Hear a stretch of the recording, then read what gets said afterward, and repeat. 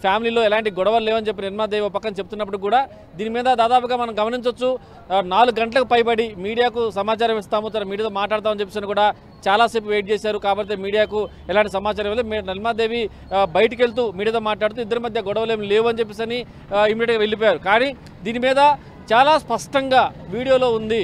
ఈయన మంచు విష్ణు మంచు మనోజ్ బంధు మీద దాడి చేసే వీడియో ఉంది. దానికి సంబంధించిన వీడియోను ఫేస్బుక్లో పోస్ట్ చేసి వెంటనే డిలీట్ చేశారు. మరి పోస్ట్ చేయడం ఎందుకు? డిలీట్ చేయడం ఎందుకు?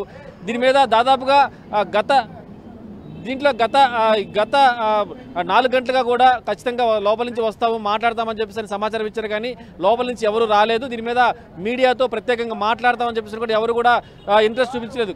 కొద్దిసేపటి క్రితమే మనకు ఇక్కడ సెక్యూరిటీ గారిని తర్వాత ఇక్కడ ఉన్న వాళ్ళు చెప్తున్న ప్రకారం ఎవరు రావట్లేదు మీడియా మీరు ఇక్కడి నుంచి వెళ్ళిపోండి అని చెప్పినట్టు చెప్తున్నారు. మరి నిర్మలాదేవి చాలా స్పష్టంగా చెప్పారు ఇక్కడ ఇద్దరు నా అన్నదమ్ముల మధ్య గొడవలేమి లేవు అని చెప్పేసి చెప్తున్న పరిస్థితి గమనిస్తా ఉన్నాం. మరి నిర్మలాదేవి గారు గొడవలేమి లేవని చెప్తున్నప్పుడు కూడా మరి ఈ గొడవకు సంబంధించి పెట్టిన వీడియో వీడియో సంగతి ఏంటి?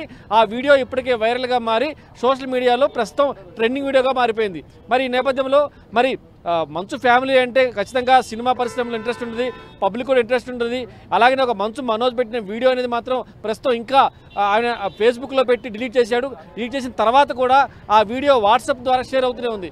మరి ఇంత సంచలనంగా మారిన ఈ ఇష్యూలో మీడియాలో రకరకాల కథనాలు వస్తూ ఉన్నాయి. వీళ్ళ మధ్య ఫైనాన్షియల్ ప్రాబ్లమ్స్ ఉన్న తర్వాత ఏదో సినిమా విషయంలో గొడవైంది. అంటే ఒక విషయం మీద వా ఎవరైనా అథెంటికేషన్ అంటే ఫ్యామిలీ తరపున కావచ్చు తర్వాత వాళ్ళ తరపున బంధువులు కావచ్చు లేకపోతే వాళ్ళ తరపు దగ్గర బంధువులు కావచ్చు ఎవరైనా సరే జరిగింది ఇది దీనివల్ల వాళ్ళిద్దరి మధ్య మనస్పర్ధలు వచ్చాయి లేదా లేదు ఈ వీడియో ఏదైనా పెట్టాల్సి వచ్చింది అని చాలా స్పష్టంగా వీడియో ఎవిడెన్స్ కనిపిస్తూ ఉంది. మరి వీడియో ఎవిడెన్స్ కనిపిస్తున్నప్పుడు కూడా ఏమీ లేదు అని చెప్పంటే మరి రకరకాలుగా ఊహాగానాలు వెలువడుతున్న నేపథ్యంలో మరి దాని మీద చాలాసేపటి క్రితమే మంచులక్ష్మి గారు మా ఇంట్లోకి వెళ్తున్నప్పుడు మనం ఆర్టీవీ చాలా స్పష్టంగా ఆమెతో ప్రత్యేకంగా మాట్లాడే ప్రయత్నం చేసినప్పుడు ఇక్కడ ఫంక్షన్ జరుగుతూ ఉంది. మీరు ఎందుకు ఇక్కడ అందరూ హడావుడి చేస్తూ ఉన్నారు?